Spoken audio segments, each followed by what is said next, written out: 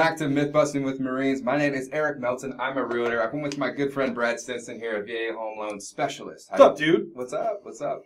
Um, this is a big myth for me because this is how, how me and Brad actually met. This myth right here is my VA home loan expired. I had a bunch of people that were keep, I was running to. Usually they were 40, 50. They thought that this thing, their benefit went away. Is that true, Brad? No, it's not. Once you've earned it, it's there. It's there forever. All right. Uh, there are certain ways in which you can lose it, which we'll get into next week when we talk about entitlement. But where this all stems from, let's hop in a time machine and go back in time when Richard Nixon signed in the Veteran Housing Act. Because back then, 1970, it was true. It was a one use and then you, you know one and done, Right. like most college basketball players. Right. So um, you use it once and it was, it's all over. Well, it was like that for about four years. Then Congress revised the Veterans Housing Act Yep.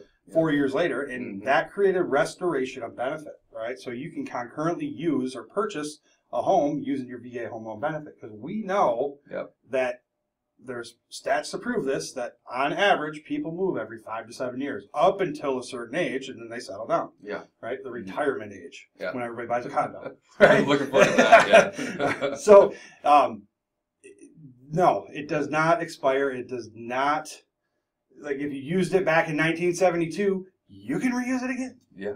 All right Absolutely. so that, that's false that's as busted simple as it is, it's like it's so a lot of people don't know that. So we wanted to bring this up real quick, and it does not expire, guys. So if you know someone that, that is looking to get their second mortgage or they've never used it before, tell a family member, a brother, a sister, a coworker that's never used it, think thinking that they it's expired, it's gone. It really they they can still use it. So let people know that this benefit is still available to them. absolutely i mean myth number two which we kind of already talked about.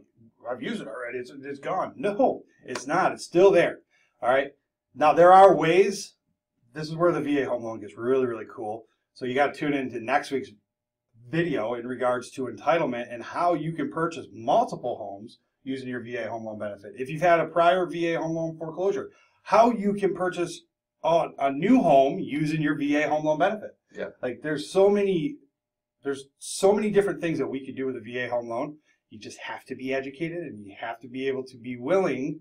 That's the key word. Willing. Willing Okay. to do the research and do do your due diligence to make sure that an eligible veteran can be qualified.